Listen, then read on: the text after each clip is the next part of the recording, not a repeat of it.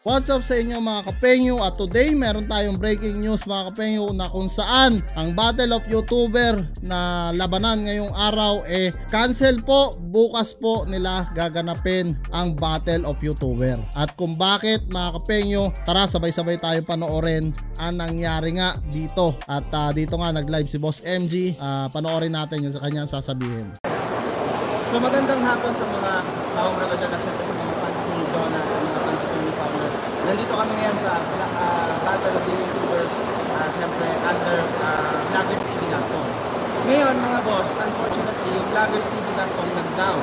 Hindi kinaya ng server ng vloggerstv.com which is yung site. Uh, hindi niya kinaya yung, uh, yung sobrang dami ng tao na nag-visit and bumili ng pay-per-view.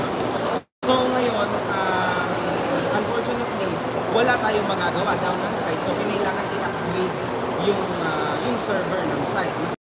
So ay nga mga kapenyo no malinaw na sinabi ni Boss MG na nag-down yung kanilang uh, website.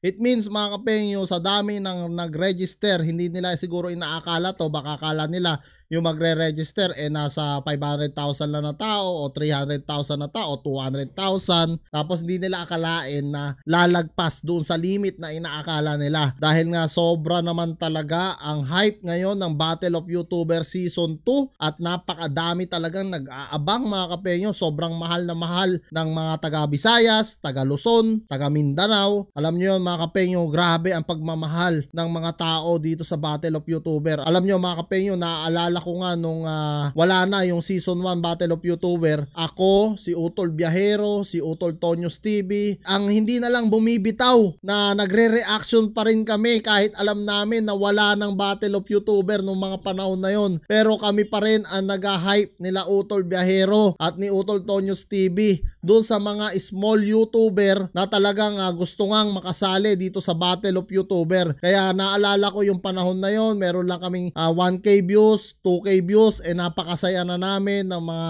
utol ko. At ngayon mga kapengyo grabe grabe ang pagmamahal ngayon sa Battle of YouTuber. Kahit kami rin mismo nila Utol Biahero Utol Tonyos TV eh nagulat po kami talaga sa dami ng sumuporta ngayon sa Battle of YouTuber. Kasi nung panahon na yun mga kapengyo kami kami lang talaga ang uh, nagse-share ng uh, Battle of YouTuber nga. Dahil nga wala na yung season 1 eh. Hindi namin ina-expect na babalik pa ang uh, Battle of YouTuber. Basta ang mga kinokontent lang namin namin noon, si Idol Boy Tapang, Mr. Chuls, Katatang Vlogs, at yung mga iba pang uh, taga Visayas hanggang sa na-discover nga ni Utol Behero, itong si Boy Ungas. Tapos ayun, biglang-bigla si Boss MG eh nagko-comment na rin sa amin nila Utol Biahero at uh, nako-communicate na namin kahit papano itong si Boss MG at doon nga nabalitaan namin na magbabalik nga itong Battle of YouTuber. Kaya napakasaya talaga mga kapenyo, napakasaya talaga namin. Lalo pa laking kalawakin kumbaga yung site.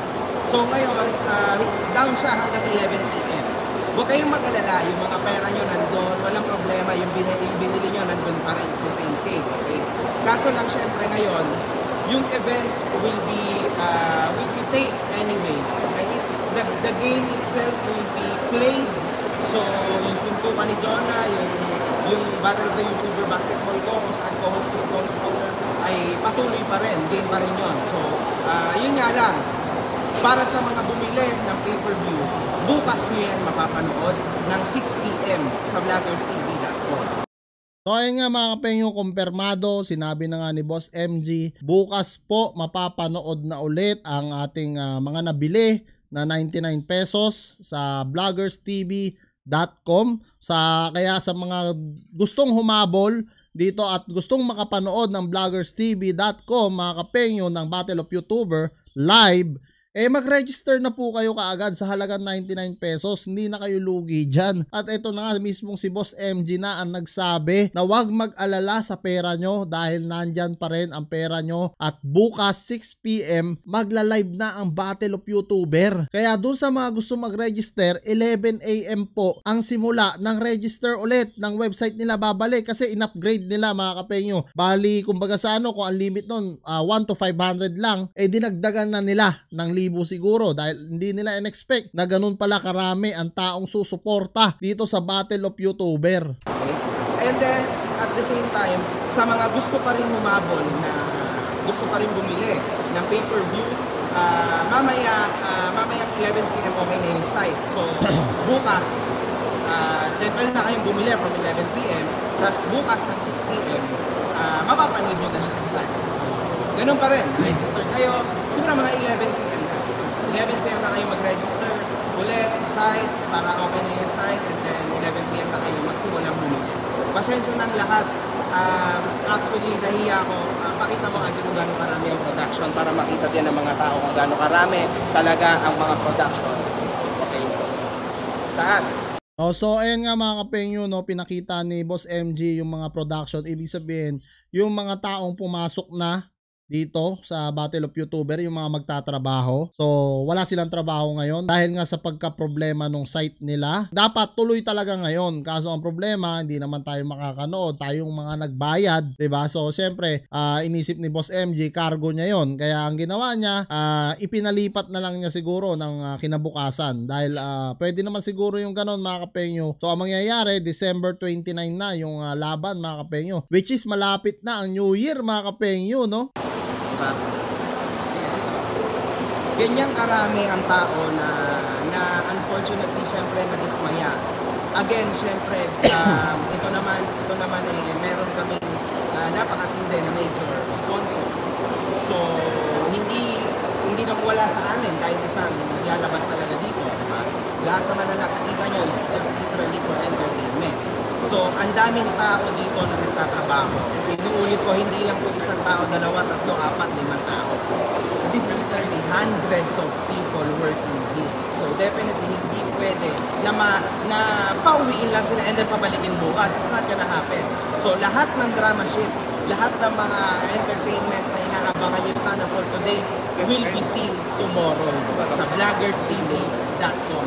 Yan, mismong kay Boss MG na mga kapenyo, rinig na rinig na natin, no? At least kahit papano, uh, nambuhayan tayo kasi kanina pang alas 4, eh nag-aantay ako. Sabi ko, bakit wala ata yung website nila Boss MG? Ano nangyari rito? Eh nagbayad ako. So, yung mga naiisip nyo, mga kapenyo, na sayang yung 99 pesos nyo, hindi po nasayang yan kasi ako mismo, eh ganun din yung naisip ko. Sabi ko, ala, nagbayad na ako pero bakit wala yung website? Wag po tayo mag-alala mga kapenyo dahil ginarantiyan naman talaga dito ni Boss MG na ibabalik ang uh, Battle of YouTuber bukas. So yung 99 natin na binayad, wag mag-alala, bukas mababalik yan dahil magla-live na sila dito nga sa kanilang website at gagana na ulit to ng 11 AM mga kapengyo which is talagang uh, lahat tayo pwede nang mag-register ulit doon sa mga hindi pa naka-register at gustong humabol, pwedeng pwede na kayong humabol. Maraming salamat, Tony. Baka meron ako sasabihin sa iyo. So, ayun mga guys, ito po ako nag-uusap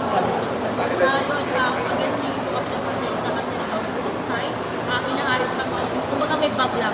So, kung maraming nag-message sa inyo o natataka, ah, nag-message sa akin, tataka, bakit hindi kayo makapag-sign up? Kasi nga, nagkaroon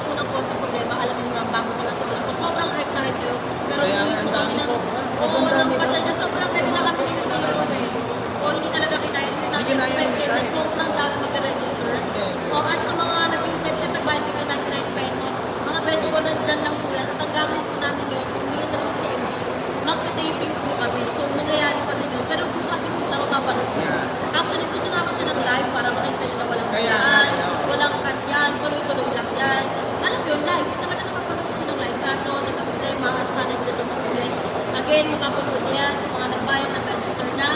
Bukas po ng 6 p.m. onwards. At sa mga naka, sa mga gusto mag-register, kung pwede po yan mag-register para maging updated tayo by 11 p.m. tonight. So ayun nga mga kapenyo, malinaw na sa atin lahat at uh, Cody Fowler, sinabi na nga din niya na talagang ganon, 11 a.m. pwede na mag-register ulit, open na yung site nila at uh, doon sa mga hindi pa naka-register, register na at 6 p.m. naman, ulitin ko mga kapenyo, 6 p.m. doon na magsisimula yung uh, labanan nga ng Battle of YouTubers. So talagang uh, sobrang excited tayo mga kapenyo at uh, sila rin mismo mga kapenyo, lalong-lalo na yung mga staff nila na talagang uh, 100 workers nga raw, lagpas pa sabi ni Boss MG na nandoon sa kanilang ah, lugar na yon, na nandoon sa event na yon mga kapengyo no. So talagang ah, hindi rin nila talaga inaakala to mga kapengyo na mangyayari nga to. Anyway mga kapengyo, maraming maraming salamat at I hope na update kayo dito ngayon kung bakit nga hindi natuloy yung Battle of YouTubers ngayong araw. Pero wag tayo mag-alala, bukas na bukas mga kapengyo, Battle of YouTuber, labanan na yan ng Team Bisaya versus Team Luzon. Sino ang pambato nyo mga kapengyo? Pero kami mga Bisaya, manalo matalo, hindi kami bibitaw. Kaya Boy Ungas, Boy Bagsik at ka Jason Casimero, good luck po sa inyong laban at ipagpe-pray po namin kayo. Mga kapengyo, hinihiling ko po ang inyong pagdadasal dito kay Boy Ungas at ah, Boy Bagsik dahil ah, hindi po basta-basta ang mga kalaban nilang si Boy Uragon at Billy Jack talagang ah, mahihirapan sila dito kahit papano dahil mas malaki sa kanila to mga kapengyo. Kaya talagang 50-50 yung laban at panalo natin dito mga kapengyo. Pero walang imposible basta magdasal tayo mga kapengyo para sa Team Bisaya. Anyway mga kapengyo maraming maraming salamat sa inyong suporta at ah, baka naman mga kapengyo road to 100k subscriber na tayo. Kailangan ko na lang ng 20k subs mga kapengyo. Baka naman pwede nyo akong isubscribe mga kapengyo para maabot na natin yung pinapangarap nating silver play button. Anyway mga kapengyo maraming maraming salamat at kita-kits na lang tayo sa susunod kong reaction videos. Watch out for reindeers are falling down. We stay up He climbs down the chimney at the speed of light. While we're dancing around the Christmas tree, hugging and kissing